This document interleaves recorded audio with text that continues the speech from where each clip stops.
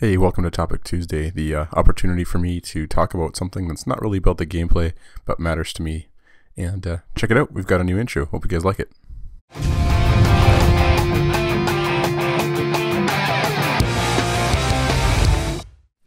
Alright, so today's topic is jobs, jobs, jobs.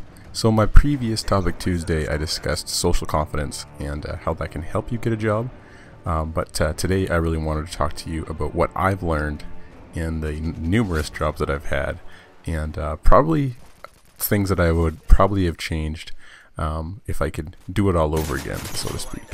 So, oh yeah, enjoy this flawless MOAB gameplay. Um, definitely own this cabin area for the duration of the game. Uh, was stoked to get a flawless, but um, these are definitely harder and harder to get. You'll notice during this entire gameplay that uh, nobody knows what a flashbang is. And so, if you uh, attempt to try and get these flawless gameplays now, usually the players know um, either throw an RPG into that room, uh, a grenade launcher, or get a concussion grenade in there. Anyways, back on topic. So, um, I've had a lot of jobs in the past, and um, some good, some bad.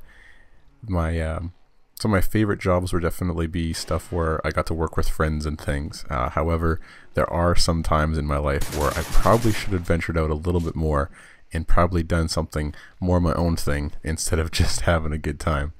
But um, if you're looking for a summer job right now and uh, you're not sure what to do, probably my best advice would be to try and go and do something that you've never done before. Uh, I remember when I was getting out a um, high school for the summer and uh, in between high school and uh, college, the jobs that I would take were um, always interesting, um, and my favorite jobs were the ones that probably taught me the most. And so, um, every now and then you'll be enticed to probably go for the easy job. And uh, looking back on some of the things that I've done, uh, for example, uh, I used to work at a lovely little joint called Jersey City, where we just sell sports jerseys. And um, there's like about six televisions inside the store running sports all day. So for a good year, I had a job there. Uh, it was in the mall, but uh, I pretty much watched sports all day. So I thought that was a pretty sweet deal. Uh, however, I wasn't making much money, and oftentimes would spend what I was making on uh, food there at the mall. Uh, I had shifts that were about four hours. Um, again, never made much money, but uh, did have a lot of fun. Looking back on it, probably should have done something a little bit more challenging, and that's exactly what happened after I left that job.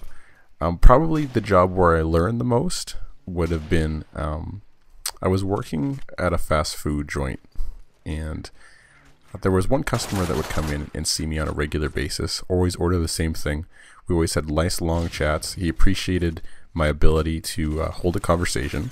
And one day he walked into the uh, fast food joint and asked me if I'd like to run his business. Now, this was a pretty cool thing that someone would just ask you out of the blue. So I definitely want to take him up on it. And so one of my favorite jobs that I had was running this little industrial soap store. This was uh, I was running this for this gentleman who was uh, getting close to retirement and um, was thinking about selling his business and was just kind of running out of steam uh, as far as how demanding the job was. So uh, I took it over for him. Uh, I worked about three days a week. I was by myself.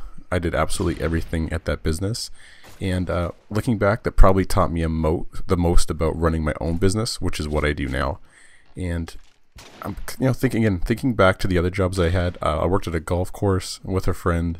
Um, I did some some other opportunities, which again, I probably should have challenged myself more because you're going to look back once you're, you know, through your mid 20s and early 30s on the jobs that you've had and the things that you could have learned. Um, I also did some construction work. Glad I did that. I realized that I'm definitely not a construction worker. However, I do have the tools to do a couple things.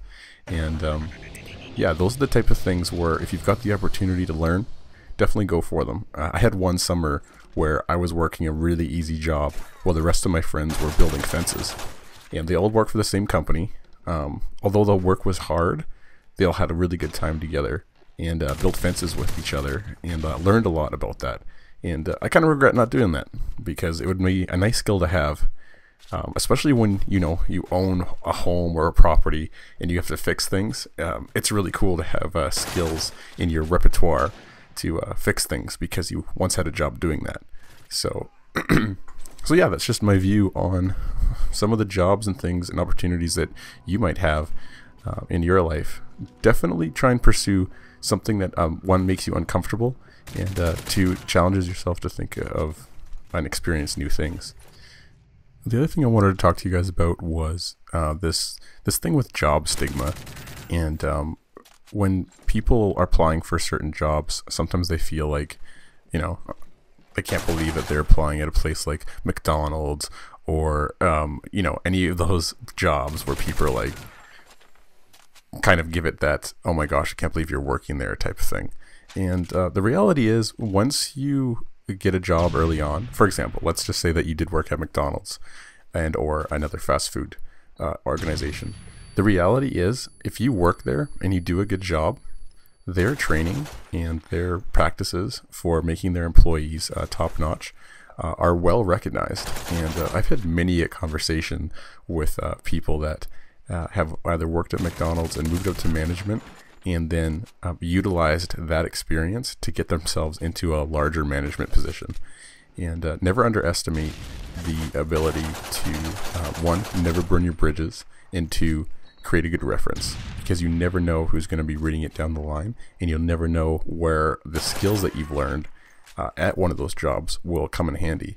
Um, I never think that people that uh, work at fast food, since I did it myself, um, have an easy ride because it's obviously 100% demanding. You're pretty much on, uh, you have to be on the ball the entire time. And um, if I was looking for an employee myself, it's definitely one of those things that I'd be looking for. And uh, references are just so important. So, what are some of the jobs that you've had? Uh, tell me your best job and worst job, and uh, throw some other stuff down in the comments. Please tell me how you guys enjoyed our intro, and uh, hopefully you've enjoyed this MOAB gameplay. And if you can think of another topic for next week's Topic Tuesday, please throw it down there in the comments section. And uh, we always appreciate anyone that uh, shares our video or adds a like. Uh, also, check out our Twitter account at uh, Team, as well as uh, our Facebook page. And uh, we also hope to uh, start creating, again, a solid schedule. I've now done two Topic Tuesdays, and A-Bomb's going to get some more regular videos happening. So thanks for joining me, and uh, check out our other videos. See you later, guys.